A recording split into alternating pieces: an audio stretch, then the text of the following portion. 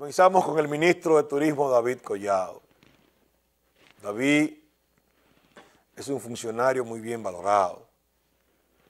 Tiene perfil presidencial y es una de las futuras promesas del Partido Revolucionario Moderno con miras a las elecciones del 2028.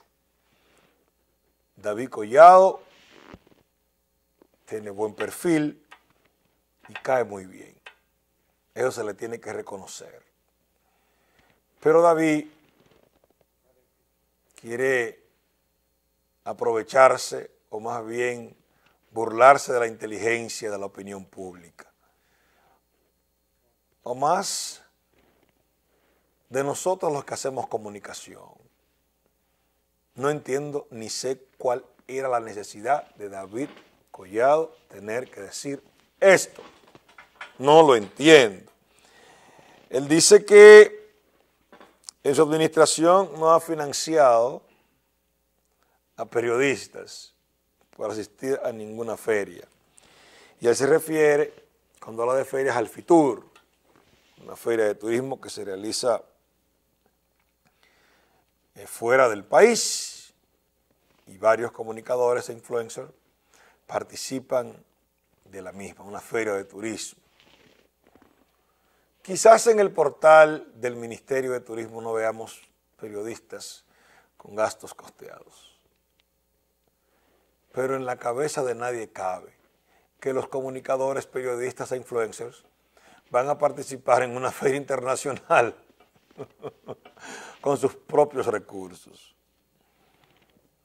Estamos hablando de figuras importantes de noticieros del país, periodistas de diferentes medios, fotógrafos.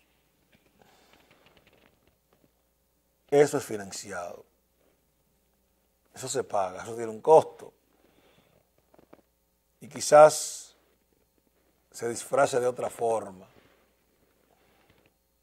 o se financie de otra manera o se utilice cualquier otro método, pero claro que se le pagan los pasajes, los viáticos y las estadías a los periodistas cuando participan en estas ferias. A David Collado que no se burle de la inteligencia porque aquí nadie está arado. Aquí la gente razona, tiene sentido común. No creo que sea necesario llegar tan lejos y decir, decir de por Dios, que